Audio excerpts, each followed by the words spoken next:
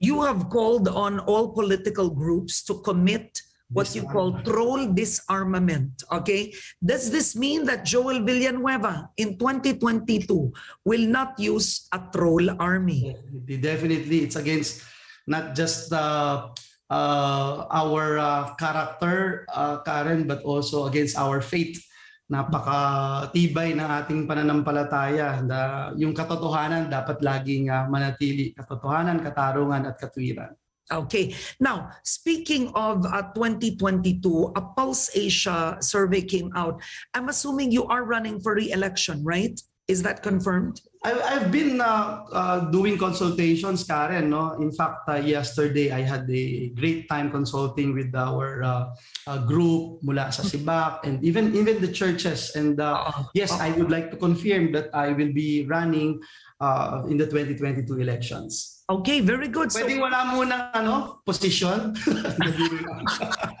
Kasi in, in this particular show, uh, ang daming nalito no when after that uh, guesting Karen uh, all over the country I've been getting all these uh, questions whether or not I'm running for vice president so binago ko sabi ko hindi for president ako tatakbo okay. No, pero at least we know you are running for the Senate again.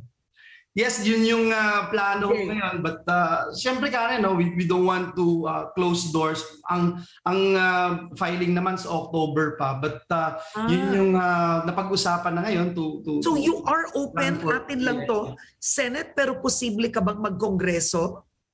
Well, pwede lahat, no? Uh, kahap I'm here in Bulacan right now and uh, Yeah. some some some leaders here were asking me to run for governor and I was surprised. no? Okay. And, uh, So it's a possibility. Open, open naman, open naman tayo Oo. sa lahat. But uh, right now, the plan is to run for re-election. That is Okay, all right. That's the plan. Now, the latest Pulse Asia survey shows that you, and frankly, even your colleagues ah, that are running for re-election, which is quite surprising for many, Mhm. didn't even rank in the top 12. Pero to be fair, there are names kasi in the top 12 that will most likely not run for the Senate. I mean, that's the truth, right? So, you know, they might run for another position. You have Man, um, Manny Pacquiao, Isko Moreno, uh, marami that were included. Some are unsure. But what's interesting is um, you ranked 18 to 29 along with your other colleagues. How when you what do you make of this survey? Well, first of all, Karen, it's way too early. And uh, when you talk about the 2016 elections, at this point in time, I I'm like in, in, in number 42, Karen, no? Last uh, 2015, no? A year before the uh, uh, elections. I think it's uh, way too early. Number two, uh, surveys are there to, to, to help you get your base and uh, find out saan yung mga strengths and weaknesses mo. Um, number three, you made mention na I think 10 to 12 of them will not run. Yeah, Uh, yeah. Number four, I think Oo. it's important to note that uh, uh, we, we, we, we as uh, politicians uh, are, are weighing things right now, whether you're running for Senate, you're running for president, for vice Mhm. president, for, for, for other elective uh, uh, positions. Pero- the most important factor, Karen, I think, is you work harder and uh, find out your weaknesses and uh, shortcomings in this uh, particular survey. I'm not I'm not against surveys, Karen, but uh, Okay. it's just a perception. And uh, uh, for me, uh, I've been there. I've been there. And uh, in the 2016 elections, uh, numbers wouldn't lie. I got 18,459,222. Oo. You were number two, no? You were, Yes, you, were yes. number two. Let's remind the public about that. You were number two in the 2016 to. elections. 2016 elections, you were number two. Senator Drilon was number one, Number and one. he is retiring. Yes. Why do you think? I also wanted to ask you is it the political landscape? You're also seeing several politicians choosing retirement. I mean, Drilon is one. Senator Lacson said it at one point if he doesn't run for president, he'll retire and he can still run. huh? That's one, Yes. right? Why That's, that's two different uh, uh, scenario, Karen, because Senator Frank is uh, on his last term, no? Yes. Talagang uh, last term Yes, niya sa but then Senate. he could technically run between us Yes. for a local post. Yes, Ayaw exactly. din. Exactly. Why do you think, is it something, Senator Joel, about the political landscape? Actually, Karen, um, I- I'd like to to to share this with you. And uh. Senator Lacson and I actually uh, uh, had this conversation Yeah. inside the the session hall, and uh, I feel the same way. No, sometimes you you, you feel like uh, you're you're doing everything, and uh, uh, it's still uh, uh, not enough, Yeah. and uh, Yeah. You could hardly see the fruits of your labor. Yeah. I And, mean, and, and, and not And to name anyone, but you have colleagues that are not qualified, they're not working, they're not, they have a low track record in the Senate and yet are ranking. So is this part of the frustration? I, I'm just, you know, when I, when I hear Senator Lacson, may ganun din siya. Definitely, Karen. Uh, if you recall, last last time I guess here on your show, I I I, I relayed this particular uh, message that uh, I have the I have the option of not running because Mm-mm. if you ask me personally, after what happened to our family, to my sister and to my mother, I I actually wanted to retire. That is what I wanted. Um, but with the consultations that I had with the family, with the group that I represent, and the people who are expecting me to do more, Oo. and uh, you know, as you made mention, no, when you talk about landmark legislations, Karen, I think hindi naman tayo nahuhuli. Uh, when you talk about being present in the Senate, perfect attendance tayo, no. But if you look at this particular uh, survey that you are talking about, and you are just basing yung survey na yun, then you'd be frustrated, no. And uh, uh, probably kung hindi ka rin, wala ka rin experience sa politika, baka iwanan mo na at uh, hindi ka na tumakbo no just because of that but uh, you see I think yung calling ng isang individual para tuparin yung plano ng Diyos sa kanyang buhay is very important kasi kung hindi malalim yung commitment mo to really serve your country and people eh talagang mas mabilis pa sa alas 4 yung madidisappoint ka at magi-give up ka na Oo. Now, here's an interesting question. No? The Liberal Party has reached out to you, even to Senator Nancy Binay, to Mayor Isko Moreno, and I, I'm not sure, uh, I think, kahit ba kay Senator Lacson, did they reach out? yes yes Okay, all right. And um, of course, Senator Nancy Binay said she's most unlikely going to partner with LP, but are you open to Hindi naman, hindi naman niya kino-close. Sabi lang niya may hugot pa siya. May hugot mga pa. sugat na Okay. kailangan gumaling. Okay, may hugot. So are you open to sit with the Liberal Party but and will you run with the Liberal Party? I mean, times are very different now. Well, you know, Karen, e- e- everything is possible in and politics is addition, uh, as we are all aware of. And uh, at this point in time, we are open to coalitions. We are open to coalesce with the bigger political parties. As uh, I have uh, mentioned before, we have been talking to uh, uh, possible potential presidential candidates like uh, Mayor Isko, Senator Manny, um, of course, uh, VP Lenny. Uh, again, open ho tayo sa lahat as long as uh, our principles and advocacies are aligned with each other. Have you ever reached out to Davao City Mayor Sara Duterte? There, I there mean, are feelers. You saw photos, you saw photos that she was in Manila and she met with former President Gloria Macapagal Arroyo, right? So I'm curious if uh, will you be running under Sibak pa rin? Yes, uh, that's our party, and So, uh, that's what we're doing right now. We we are uh, talking to uh, bigger uh, political uh, Yes. parties, and uh, we we are again uh, willing to coalesce with the uh, uh, coalition parties. And if you ask me if I'm willing to sit down with the Mayor in Inday, I'm more than willing to sit down with the Mayor in Inday. I mean, at the end of the day, uh, Karen, I think what is important right now is to look at the uh, the strategy and the action plan of these uh, coalition groups, bigger political parties as to how uh, they are going to address this uh, very, very uh, serious problem, this uh, COVID-19 na pandemic. We need to see a clear plan to, to, to, to lift our people from the impact of uh, COVID-19 pandemic. Oo. Will the Jesus is Lord movement, you have members uh, running to, how many members do you have now? I am not sure if I am at liberty to, But to please uh, do. answer questions. I mean, but when you talk about membership, easily yung 1 million votes, we can, Oo, we, can, we can have that. Yeah. uh, But put it to, uh, let's put it to, maybe not members, but those who attend. I mean, let's face it, uh, Iglesia ni Cristo has always, in a way, used and they're known for their power block in uh, during the elections and El Shaddai as well. But JIL has also grown through the years, right?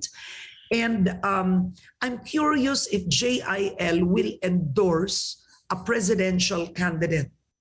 I think the uh, first of all, I, I I'd like to uh, uh, uh, uh, confirm that that that that statement uh, you made. No, it's a force the to reckon with yung mga religious yeah. groups organizations, whether they will endorse or not. Hindi ko po call yun eh. Uh, call ng leadership po yun. But uh, uh, even yung time when I, uh, I, I ran, they would keep on praying for me and uh, ako yung consultation laging as individuals hindi yung as part of the the the, the, the JIL church ganun po yung Oo. uh, approach Oo. lagi. Hindi, pero ano yung stand ng JIL?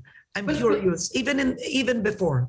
Have you ang, ever kla- ang klaro naman po, uh, Miss Karen, ang, ang klaro naman lagi yung uh, kung papaano uh, mas mag improve yung uh, services Mhm. and uh, uh, syempre yung uh, free from corruption, yung uh, moral issues uh, being taken care of Oo. and uh, what about your father? partnership no i think it's very Oo. important yung partnership that the you engage these uh, sectoral groups church groups Yeah. nation building kasi I'm curious. important. See, Brother Eddie ba, who is a clearly one, I mean, the leader in effect no, of JIL, and he's the father figure, so to speak, the founder.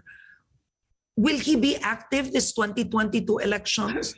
Karen, I cannot speak for my dad, no, but you know, every time we see each other because we don't see each other often, we, we, we actually don't want to talk about politics every Oo, time we I see can each imagine. Kasi Parang uh, yun yung uh, way that we can band together. We just play Oo. billiards and talk about yung uh, family, etc. Especially his apo. So I, I'd leave it to him, uh, Karen. Mhm. Oo.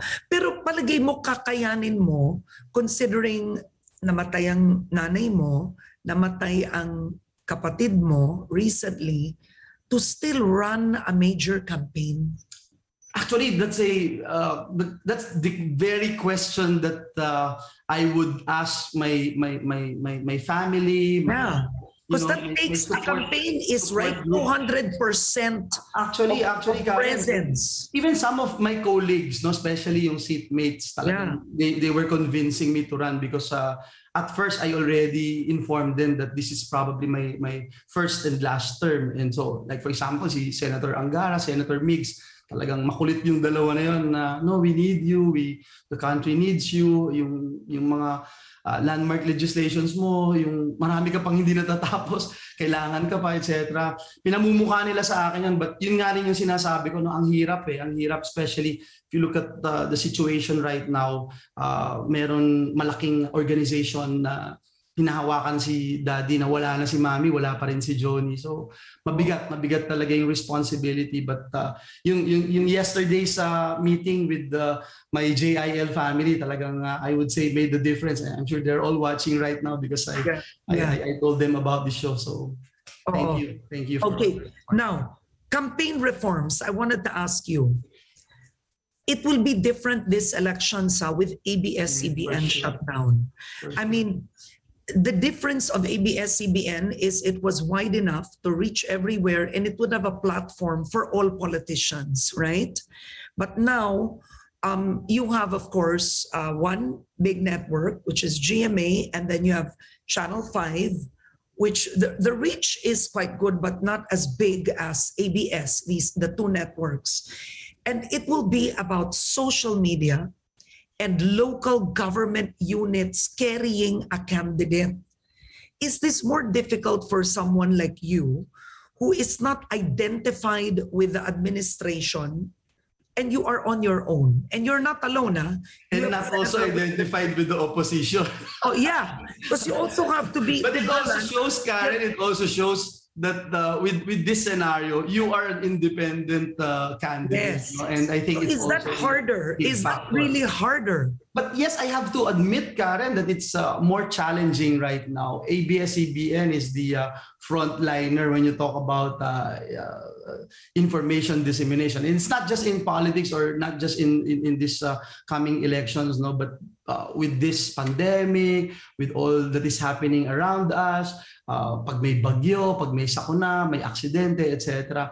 Napakalaki ng role na ginagampanan ng ABS-CBN. Now that it's not on air, it's a great challenge. It's a great challenge, not only for politicians like us or not only in the coming elections, but if you talk about the coming elections, you're only talking about the very limited platforms available uh, for you. And as you made mention earlier, um, yung social media will play a, a, a, a- a big role. And when you talk about social media, uh, it also connotes yung fake news, it also connotes itong mga troll farms, etc. No? So which is uh, even harder for uh, for a candidate, a, a decent like yourself. candidate. Um, I'm not going to talk about myself. No, if you, if you talk about someone who is a decent, wanting to to serve uh, our country and people, can you imagine how hard it is for that particular candidate to to to, to deal with all this? No, Yeah. and uh, perhaps it would also dissuade him or her not to run anymore. And pag nangyari po yun, kawalan yun ng bayan, kawalan yun ng sambayanan.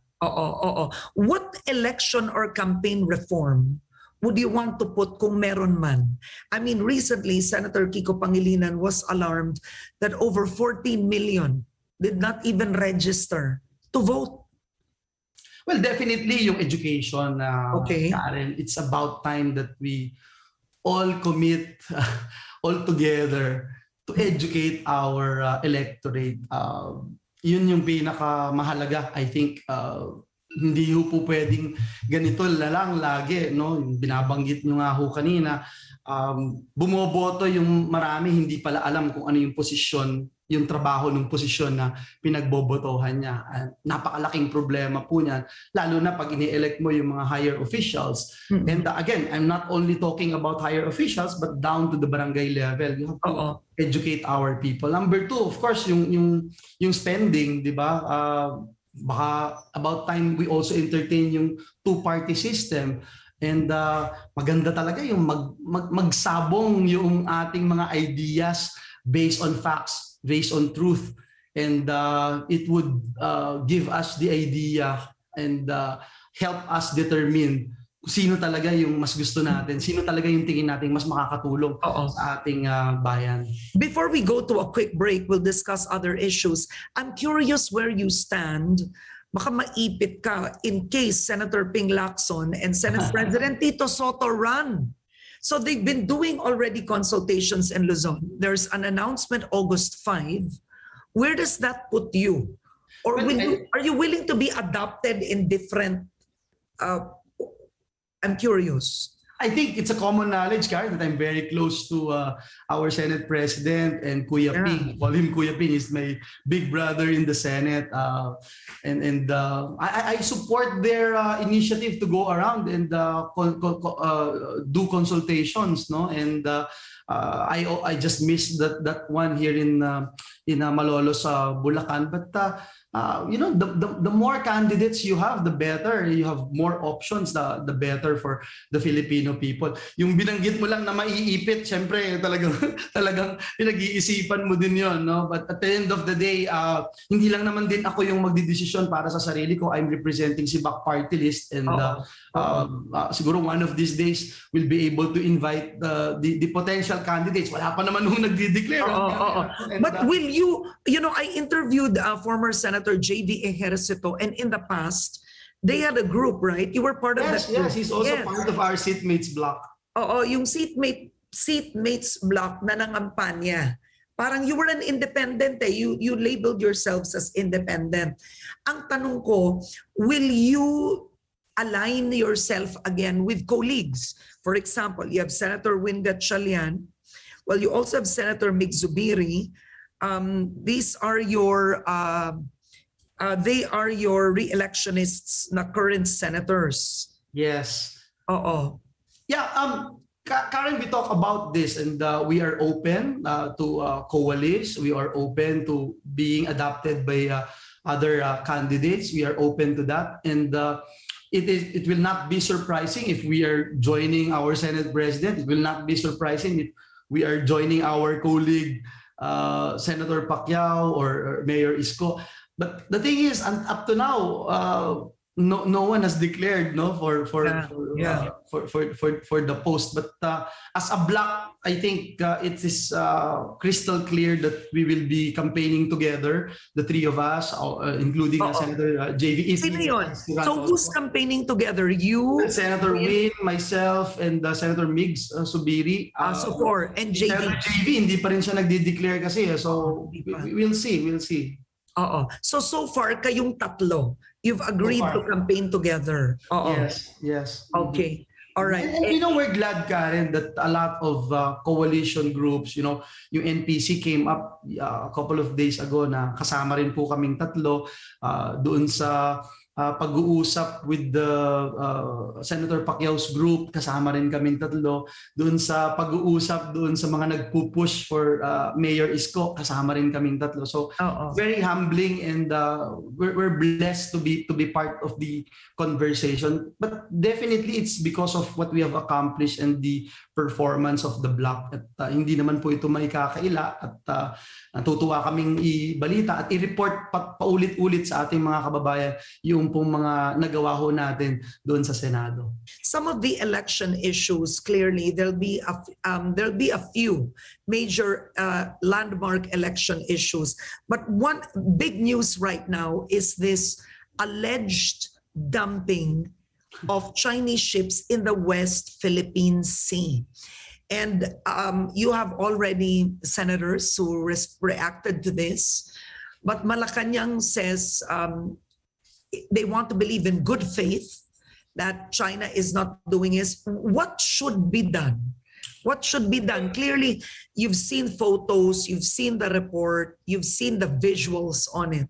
Yes, uh, first of all, after hearing yung uh, Chinese ambassador and the, the, the, the Chinese government's uh, representative, it is sad. It is uh, very sad, but uh, unexpected that a uh, country would uh, treat as waste paper a court decision on our uh, waters where its uh, ships now dump uh, their wastes on uh, we would like to believe and we wanted actually to be a friend of China, but its leaders are are making it hard for us to to fall in love with them, no? And I think if we are to to to to to to treat them as friends and uh, we we we are made being made to believe that we are both friends then, then, then we have to really sit down and talk about this. Uh, but for me, uh, I have been saying this, yung uh, panalo natin sa Hague ruling,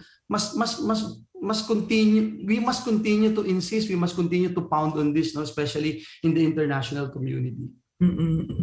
Okay, pero dapat ba will the Senate start an investigation? I'm curious. Will the- the Senate call for an investigation on the alleged waste dumping?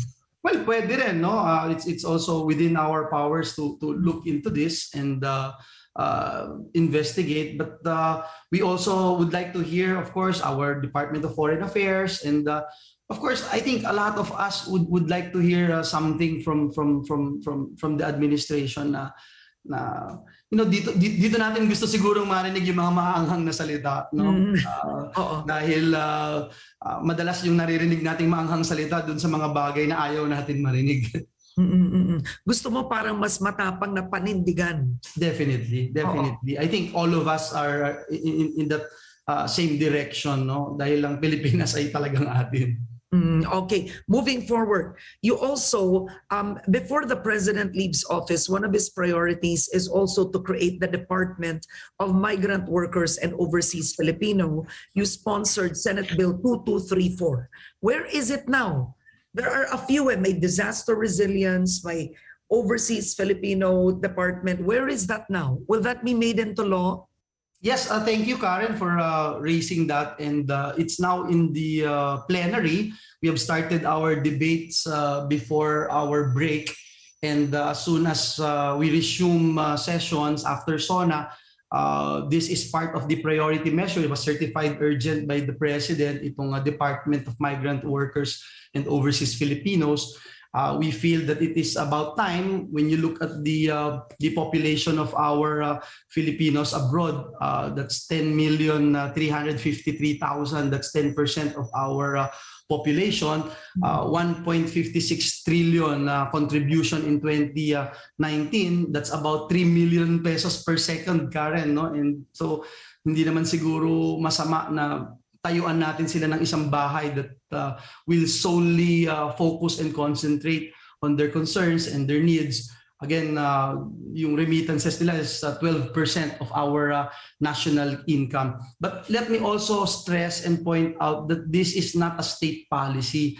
Uh, no way that this is a state policy for us to to uh, force our uh, our human resources to go abroad and uh, Meaning a, a- state there. policy to Oo. send out workers. Yes. Yes, despite the fact, Karen, that you know before the pandemic, 6,092 Filipinos would live uh, abroad every single day. Kaya naman na hindi natin mapigil yan. Of course, for greener pastures, nandun yung opportunities. But you know, in this particular measure, we found the idea na dapat talaga ang paggawa at paglikha ng trabaho dito sa loob ng ating bansa. We also put a section there, yung uh, uh, mandatory review after 10 years and then 5 years after. So there's a sunset provision that uh, this will not continue forever because that is not Ah, our okay. state policy. So may sunset provision in the department that this should not continue forever. In the one Yes. hope that one day you have less Filipinos really leaving the country. That that is our goal, uh, Karen. The mandatory uh,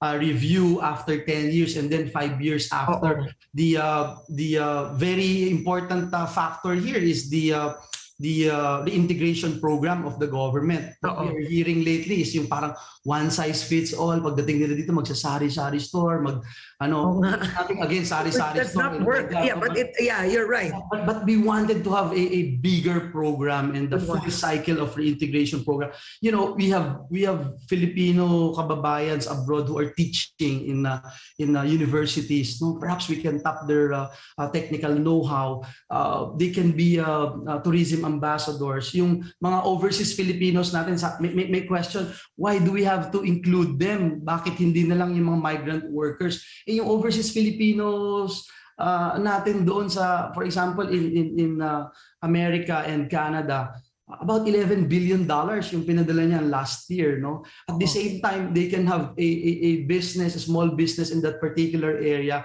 na pwedeng kumuha ng produkto dito sa Pilipinas no Uh, they can help uh, Yeah. spur economic Okay, quick question. Under the Department of uh, Migrant Workers, will the POA and OWA still exist? Yes Or uh, will they be incorporated, frankly? They, they will just be depart, uh, they'll just be divisions of the department. Kasi eto na naman tayo, may department. And then, okay, eto POEA, mag-apply ka doon. Eto, you get my point? Ganun Yes. ulit. Yes, ah, alam mo Karen, ang ah, talagang isa sa pinakamalaking naging problema ay yung coordination and overlapping ah, of functions, no? Yeah. And ah, even us in the Senate, we are kind of ah, confused. Kanino ba lalapit pag ganito? In the repatriation program nga lang, 'di ba? O pagka hindi ka pag hindi ka ah, documented, dapat DFA ka pag documented ka sa DOLE ka, etc. Kung may problema ka. So we wanted to have one house, no, that will house uh, and and and uh, and uh, have this concentration doon sa ating mga overseas Filipino workers and overseas Filipinos. Okay. What is your biggest priority before we go? My last question. Before you file in October. Okay. Well, what would you want to see through? Well, ito, itong uh, Department of uh, Migrant Workers and Overseas Filipinos, yung Magna Carta for uh, our seafarers, I think it's about time. Yung dalawa na yan, yung very big sa atin yon. Uh, but at the same time, yung pinagkakaabalahan natin sa Committee on Higher and Technical Education, yung mga conversion of our uh, state colleges to universities, malaking maitutulong nun. Uh, yun yung uh, tingin ko very, very important. Oo. At aabot lahat ito I, I am uh, confident and uh, optimistic about it. And uh, I think my uh, colleagues naman in the Senate are uh, aware of the uh, importance of this landmark legislations. All right. On that note, Senator Joel Villanueva, thank you so much for joining me this morning. God bless you and you stay strong, sir. Thank you, Karen. Always a pleasure to be on your show. God bless you more.